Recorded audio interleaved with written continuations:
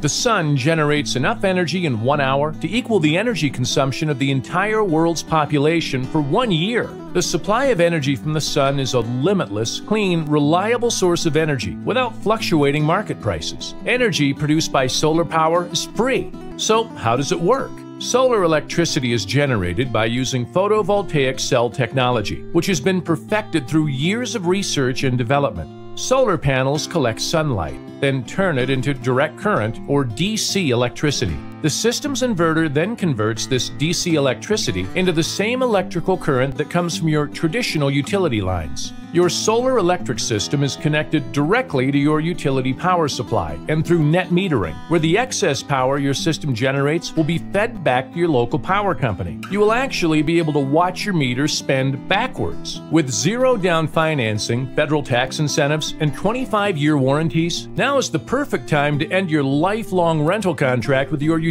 company, saving you tens of thousands of dollars on average, eliminating future utility rate hikes while increasing your property value and shrinking your carbon footprint. Contact us now for a free site assessment and consultation. Let Apollo Solar Solutions show you how to harness the power of Florida's free sunshine.